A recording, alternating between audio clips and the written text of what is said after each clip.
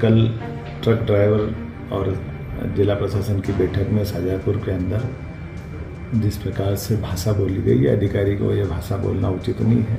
मैं कभी क्षमा नहीं करूँ इस तरह की बातों को। नए हिट एंड रन कानून के खिलाफ देश भर में चल रही ट्रक ड्राइवरों की हड़ताल केंद्र सरकार से बातचीत के बाद मंगलवार देर रात को खत्म हो गई।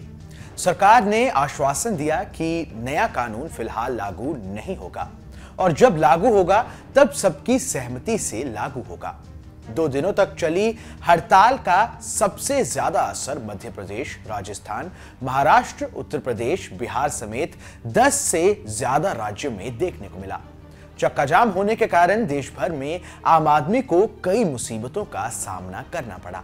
इसी समस्या का हल निकालने के लिए 2 जनवरी को मध्य प्रदेश के शाजापुर में वाहन चालकों के साथ जिला कलेक्टर किशोर कन्याल ने एक बैठक आयोजित की थी।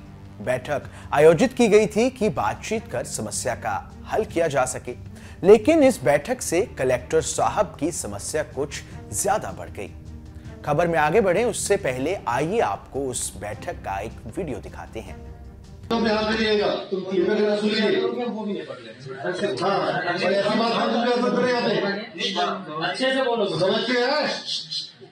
क्या बोल रहे हो समझ रखो क्या करोगे तुम क्या पकाओ दुकान है तुम्हारी यही तो चीज़ है सर हम यही लड़ाई हमारी कोई नहीं कोई दरअसल बैठक के दौरान कलेक्टर साहब जरा गर्म हो गए।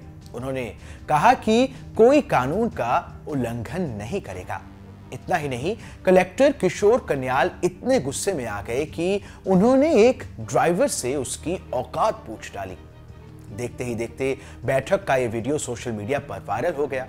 कलेक्टर साहब की खूब फजीहत हुई तो उन्होंने माफ़ी मांग ली, लेकिन बात यही खत्म नहीं हुई। कलेक्टर को ड्राइवर की औकात पूछना भारी पड़ गया। वीडियो के वायरल होते ही मुख्यमंत्री मोहन यादव तुरंत एक्शन मोड में आ गए। सीएम ने शाजापुर कलेक्टर को हटाने के निर्देश जारी कर दिए। इस घटना पर सीएम मोहन यादव ने क्या कहा, आप भी सुने। मेरे ध्यान में लाया गया कि कल ट्रक ड्राइवर और जिला प्रशासन की बैठक में शाजापुर के अंदर जिस प्रकार से भाषा बोली गई है, अधिकारी को यह भाषा बोलना उचित नहीं है।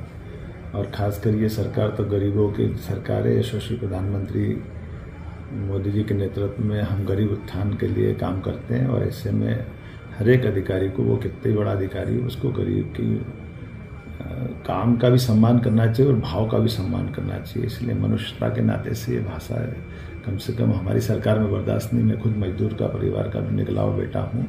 इस नाते से मैं उम्मीद करता हूँ कि आगे इस प्रकार से अधिकारियों को अगर वो ये भाषा बोलते हैं तो उनको मैदान में रहने का अधिकार नहीं है। मैं उम्मीद करता हूँ कि अब दोबारा जो अधिकारी आएगा, वो इस प्रकार की भाषा का और व्यवहार का ध्यान रखेगा। और इस प्रकार की भाषा जो बोली जाती है, मैं, मेरे मन में बहुत पीड़ा हुई इस बात की।